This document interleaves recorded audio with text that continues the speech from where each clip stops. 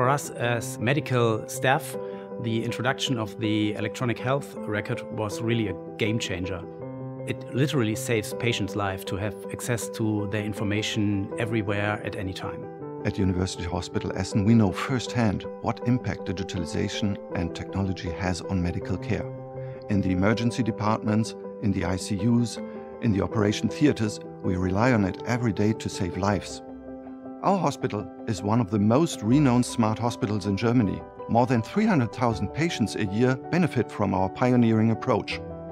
Our ambition is medical care with four main goals.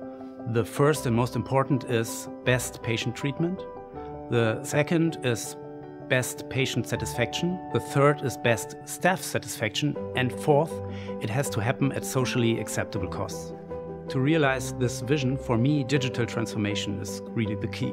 We need to give our medical staff access to all the applications, all data at their fingertips, at any time, everywhere. As a smart hospital, we want to use digitalization in a particularly smart way. One example is our own in-house developed customizable patient dashboard. This allows doctors in the hospital to access patient information instantaneously across all systems.